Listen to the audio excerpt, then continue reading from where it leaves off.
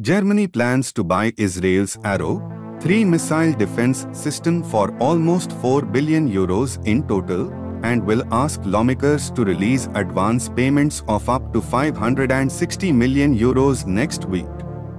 The Arrow 3 missile is designed to intercept ballistic missiles outside of the Earth's atmosphere. It is the top layer of Israel's missile defense array, which extends from Iron Dome that intercepts short-range rockets to Arrow 3's long-range missiles that destroy any non-conventional warheads at a safe altitude. Berlin aims to strike a government-to-government -government deal with Israel on the purchase of the Arrow 3 system at the end of the year, said the Finance Ministry's procurement documents that were prepared for Parliament.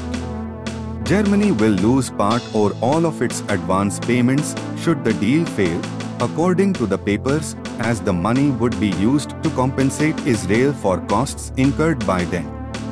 The German Air Force is supposed to take delivery of Arrow 3, that will cost about 1 billion euros more than originally planned by the fourth quarter of 2025.